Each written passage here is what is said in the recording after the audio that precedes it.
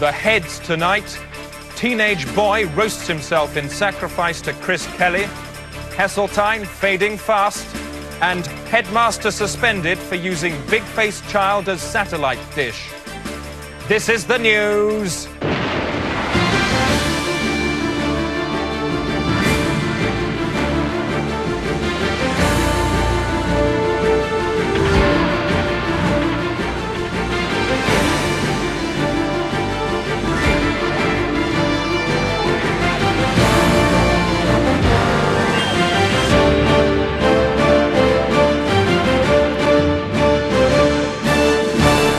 This is the news.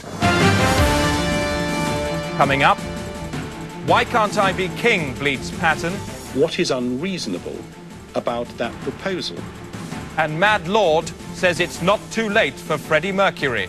I'd recommend she went to her local benefits agency office, sought advice there, and I'm sure she'd find that as likely as not, by getting hold of family credit, she might find herself considerably better off. Time now for the weather with Sylvester Stewart. Starting in the southeast, where it should be dull and drizzly in the morning, a bit like waking up next to a corpse. In Wales, it should start off nice, but bits of unpleasant old weather should drift back by the afternoon and the rain will bitch down. Things should improve in the northeast and the southwest, which should collide towards mid afternoon, and there'll be loud thunderstorms later in the evening, about the volume of a Thin Lizzy concert. In summary, then, ah. And that's all the weather. Wise words there from Sylvester Stewart. Time now for sport with Alan Partridge. Alan, you're a bit of a word man, aren't you? Um, I certainly am. Like words. Uh, where would we be without them? Help you when you're having a chat. Yeah, do, they, do you feel them as they come out? Yep, certainly do. What do they feel like then? Yeah, something like that. Do long words feel different from short ones?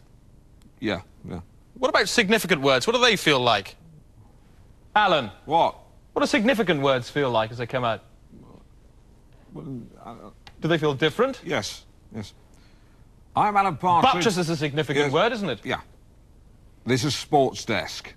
Football. The Liverpool versus Tanners match ended last night with defeat for the Tanners. I visited their dressing room.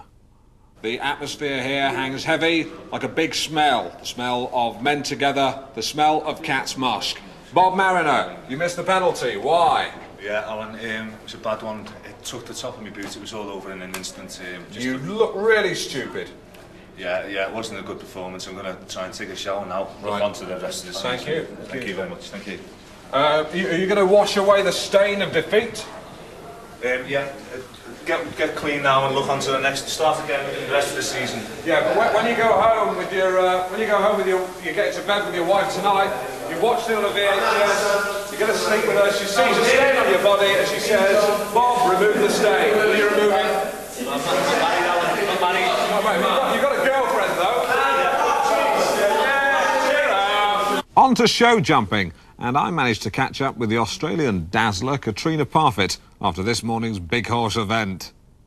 Katrina, um, quick word. Let me say, you look fantastic on a horse. Thank you very much. Um, you're like the Lone Ranger on Tonto. Oh.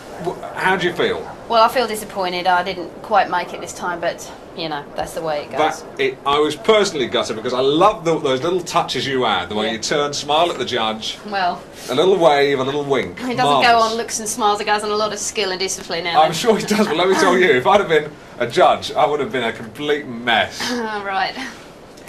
What about the horse? How, how's that handling? Uh, well, Sir Danzig wasn't doing too well. He shied away from the water jump, and that's when I really began to lose it. Yeah, well, let me tell um, you, if you ever have any more problems with him, you can ride me around the paddock.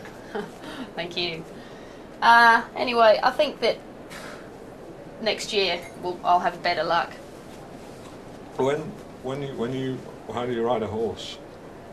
How do I ride? How do you ride a horse? Well, I've been riding since the age of about five. I don't think it's anything you can learn. I think it's something that's in the blood. Sir Danzig. Is my horse, yeah. yeah. And I shall be back next year and I shall win on him. You tell him. Thank you. Thank you. Thank you. Very much. Thank you. Katrina Parfitt, a lady. Ultra News. Just time for a quick look at tomorrow's headlines. Today, you could blow notes across the holes in his head, says Sinatra Doc. The Herald Tribune go with boiled dog could do maths, claims experimenter. The European, elastic song strangles Hucknall. The Daily Telegraph and other broadsheets feature tabs here down the side for ease of turning the pages. And uh, the Independent go with Portillo's face felt like guts, says Girl. That's it, just to let you know that police are still looking for the actor Burt Reynolds after he stole a Dodgem and drove it out of a fairground in Islington. The 59-year-old American eluded capture after a low-speed car chase and was last seen heading north on the M11 near Saffron Walden. That's it. Good night.